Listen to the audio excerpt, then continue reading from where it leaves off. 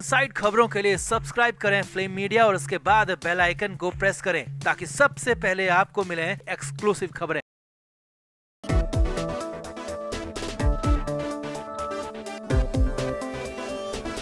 संजय राउत महाराष्ट्र में हमेशा VVIP person रहे हैं, यानी कि very very important person Bala Saheb Thackeray के वक्त से लेकर उद्धव ठाकरे की सरकार तक राउत की बादशाहत कभी कम नहीं हुई। मगर दिन सबके आते हैं और शाम सबके लिए ढलती है। तो लगता है कि राउत के दिन भी अब लग चुके हैं और रात का अंधेरा उन्हें घेर कर बैठ गया है। क्योंकि ऑर्थर रोड जेल से जो अपडेट मिल रही है, वो न सिर्फ़ हैरान करने वाली है, बल्कि राउत के परिवार और राउत के सपोर्टर्स को परेशान भी कर सकती है।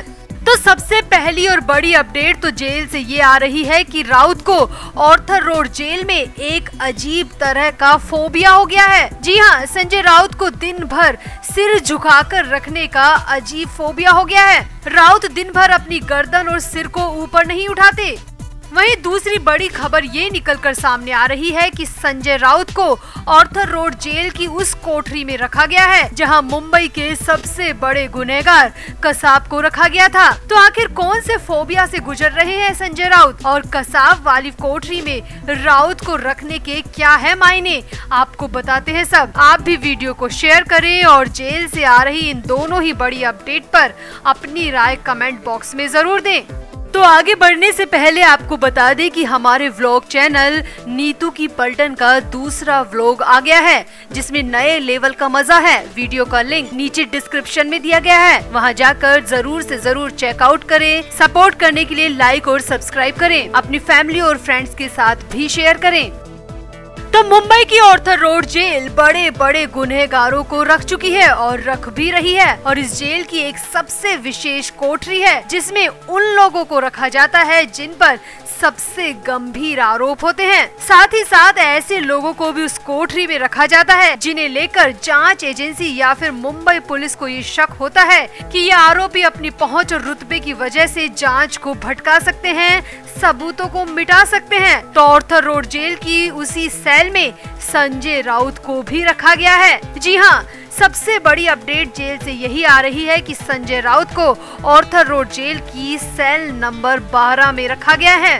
ऑर्थर रोड जेल में सेल नंबर 12 इस जेल की स्पेशल सेल है। मुंबई हमले के दोषी कसाब हो या फिर बॉलीवुड अभिनेता संजय दत्त, स्टार टीवी के सीईओ पीटर मुखर्जी के साथ साथ पंजाब नेशनल बैंक घोटाले के आरोपी विपुल अंबानी और Dewan housing finance corporate limited के आरोपी कपिल और धीरज को भी इसी सेल में रखा गया है। अब ये बारह नंबर की कोठरी एक बार फिर से चर्चा में है, क्योंकि यहाँ अब संजय राउत को रखा गया है। जी हाँ पात्रा चौल घोटाले घोटाले के आरोपी संजय राउत को उसी सेल में रखा गया है, जहाँ पर कसाब को रखा गया था, जहाँ पर संजय दत्त को रखा गया था और जहाँ पर पीटर मुखर्जी जैसे आरोपियों को भी रखा गया है। और पता है, सबसे बड़ी बात जो निकल कर सामने आ रही है, वो ये है कि संजय राउत के अलावा इसी 12 नंबर की कोठरी में एनसीपी नेता अनिल देशमुख और नवाब मलिक को भी रखा गया है। यानी कि नवाब मलिक, अनिल देशमुख और संजय राउत इस वक्त 12 नंबर की सेल में एक साथ बंद है। कभी महाराष्ट्र सरकार में अहम जगह रखने वाले तीनों बड़े नेता एक जेल की एक ही सेल में बंद है और वो भी ऐसी सेल में जहाँ पर कसाब जैसे गुनहगारों को रखा गया था। एक वक्त था जब ये तीनों ही नेता बड़ी संख्या में नौकरों और स्टाफ से घिरे रहते थे, लेकिन जेल में ऐसा कुछ भी नहीं है। संजय राउत इस जेल में कैदी संख्या आठ, नौ, पाँच, नौ है और अपना पूरा दिन अखबार पढ़ने, जेल की लाइब्रेरी में किताबें पढ़ने और सेल नंबर 12 में लगी एक छोटी सी टीवी को देखने में बिताते हैं। अब राउत के बर्ताव को लेकर एक अजीब बात सामने आ रही है। तो सूत्रों की माने तो जब से संजय राउत को इस जेल में शिफ्ट किया गया है, वो दिन भर या तो अखबार पढ़ते हैं या फिर जेल की लाइब्रेरी से लाकर किताबें पढ़ते रहते हैं। सामने आया है कि दिन तो दिन रात में भी संजय राउत को कई बार किताबें और अखबार पढ़ते देखा गया है। क्योंकि जेल की सेल में टीवी तो सीमित समय के लिए चलती है, इसीलिए राउत को दिन भर सिर झुकाकर ज़मीन पर बैठकर अखबार या किताब पढ़ने में ही अपना समय गुजारना पड़ रहा है। अब जेल सूत्रों की माने तो किताब या अखबार के चक्कर में राउत 24 में से 20 घंटे अपनी गर्दन को और अपने सर को झुका कर रखते हैं। कई बार जेल के स्टाफ और मेडिकल टीम की तरफ़ से मना भी किया गया है, मगर राउत मानने को तैयार नहीं है। वे अपना पूरा वक्त बस ऐसे ही किताब या अखबार में सिर झुकाकर बैठे रहते हैं। कई बार तो बंद हो गई लाइटों को भी। राउत एक बार फिर से जलवाते हैं और रात में भी किताबें या अखबार पढ़ने लग जाते हैं। अब ये बात सही है कि संजय राउत को पढ़ने लिखने का बड़ा शौक रहा है। वो एक जमाने में पत्रकार भी रहे हैं और आज भी सामना मुख पत्र में उनके लेख छपते रहते हैं। वो अपनी धार धार कलम के लिए हमेशा जाने जाते रहे हैं। मगर ऐसा भी क्या फोबिया कि 24 में से 20-20 घंटे वो सिर्फ़ अपनी गर्दन लटका कर पढ़ते रहते हैं।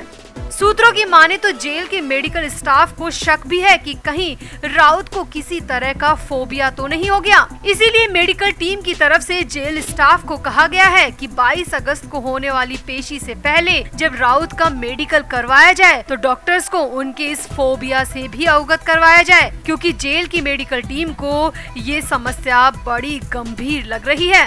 वैसे यहाँ आपको बता दें कि ऑर्थर रोड जेल में एक बार में 804 कैदी ही आ सकते हैं लेकिन वर्तमान में स्थिति ये है कि 804 कैदी वाली जगह में यहाँ पर 3000 कैदी बंद हैं। इनमें से 540 कैदी महाराष्ट्र संगठित अपराध नियंत्रण अधिनियम के तहत गंभीर अपराधी हैं। वहीं 400 से ज़्यादा कैदियों पर हत्या जैसे गंभीर आरोप हैं। इनमें से 80 कैदियों पर आतंकी गतिविधियों को करने के आरोप है, जबकि नशीले पदार्थों की तस्करी जैसे अपराधों में 140 से ज़्यादा विदेशी नागरिक भी इसी जेल में बंद है इस वक्त इस जेल में तीन हज़ार से ज़्यादा कैदी हैं और इसी जेल की सेल नंबर 12 में संजय राउत, अनिल देशमुख और नवाब मलिक जैसे बड़े नाम भी हैं। तो आपको क्या लगता है, संजय राउत को सेल नंबर 12 में आखिर क्यों रखा गया होगा? और क्या वाकई में संजय राउत को पढ़ने का फोबिया हो गया है? आप भी अपनी राय कमेंट बॉक्स में ज़रूर दें और वीडियो को भी शेयर करें। तो आगे बढ़ने से पहले आपको बता दें कि हमारे व्लॉग चैनल नीतू की पलटन का दूसरा व्लॉग आ गया है, जिसमें नए लेवल का मज़ा है। वीडियो का लिंक नीचे डिस्क्रिप्शन में दिया गया है। वहाँ जाकर ज़रूर से ज़रूर चेकआउट करें। सपोर्ट करने के लिए लाइक और सब्सक्राइब करें। अपनी फैमिली और फ्रेंड्स के साथ भी शेयर करें।